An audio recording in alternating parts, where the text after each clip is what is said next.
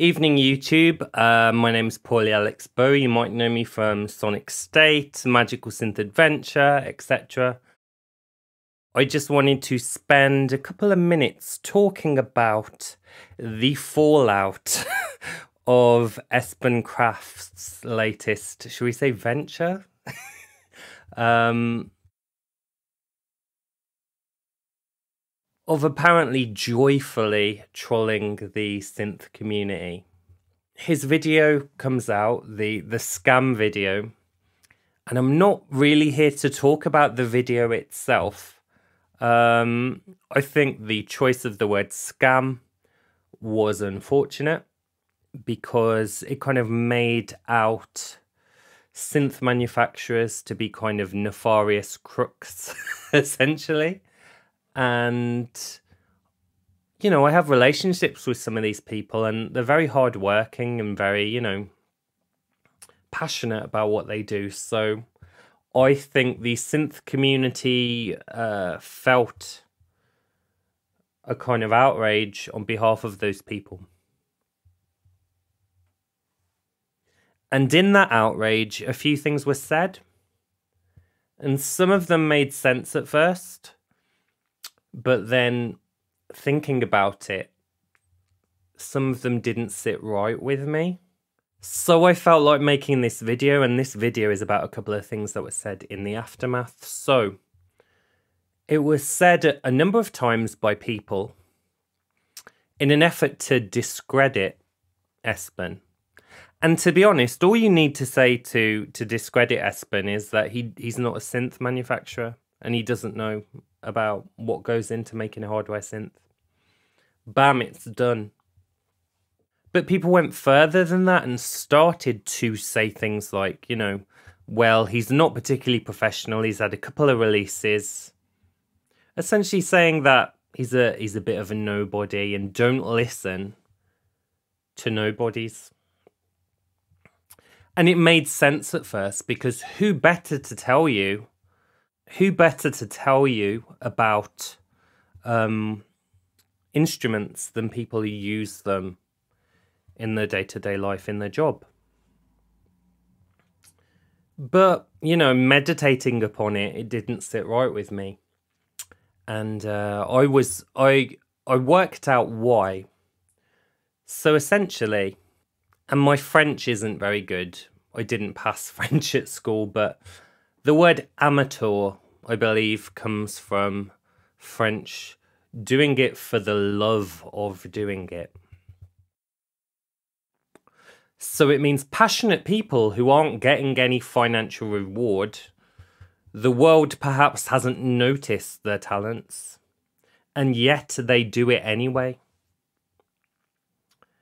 And I think I've always thought that was a beautiful thing, you know? Far from amateurs being a negative word, you know, you rank amateur.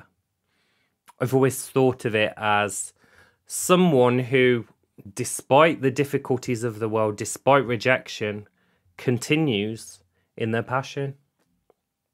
I've always thought it was a beautiful thing. So I didn't, it didn't sit right with me the kind of um, rhetoric which was saying ignore amateurs look, I'm not I'm not a musical success, you know? My last EP sold a few hundred copies in a niche, you know, uh, at a niche event. Essentially, under this schema, I should be someone that you don't listen to on anything to do with music, synthesizers, etc. But my experience has told me that people actually have a lot of time for my opinions and my unique approaches to songwriting and synthesis and things like that. And it's literally because I have read and read and read and learned and learned and learned and done and done and done to accrue a mammoth amount of skills now, I haven't had the dumb luck in the world to be able to make that my full time job at the moment. Through things like, you know, mental health, disability. But essentially, yes, I just wanted to say that I will always listen to amateur voices. Because they might be some kind of recluse who has had no success but knows more about one thing in the world than anybody else because they've lived it and breathed it and it's it's become their passion. As i said in in my song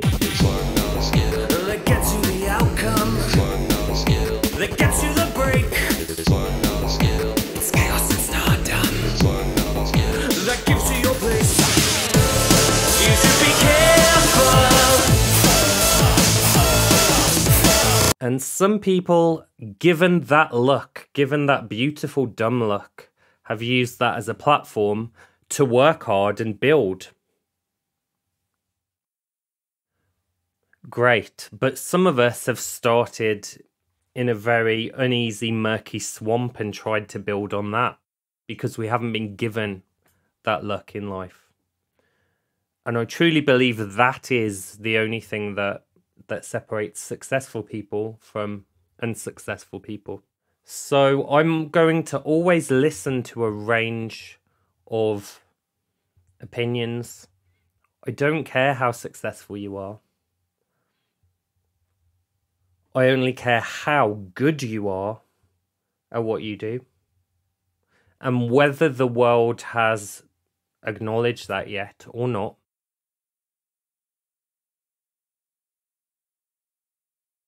Doesn't matter to me. In this case, I don't think Espen is right.